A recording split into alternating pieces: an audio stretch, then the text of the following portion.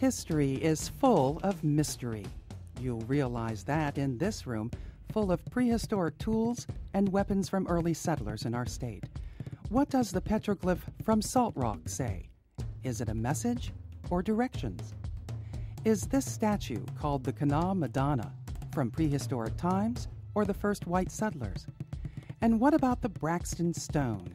Is it real or a hoax? We may never know the answers to these questions, but it's fun to imagine how they relate to the earliest tribes and Indians who hunted and lived here. Generally, West Virginia history focuses on the past 300 years, but people have lived here for about 12,000 years. By studying prehistoric tools and weapons, the mounds of the mound builders, and the remains in archaeological digs, we can know some things about their cultures and lives.